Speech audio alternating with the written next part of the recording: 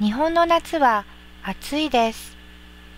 毎日40度以上ある暑い国から来た人たちも日本の夏は暑いと言います。日本は湿度が高く蒸し暑いからだそうです。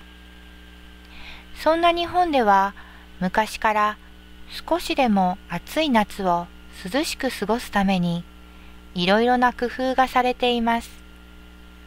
風鈴もその一つです。皆さんは風鈴を見たことがありますか？風鈴は金属、陶器、ガラスでできた手のひらに乗るくらいの小さな鐘のような形をして内側に絶という小さな部品がついています。その絶には紐で短冊がつけられています。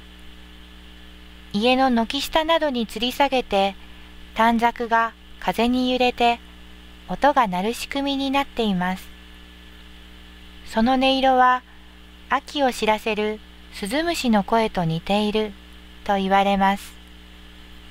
冷房のなかった時代、人々は日本の暑い夏をやり過ごすため、この涼しげな音を聞いていました。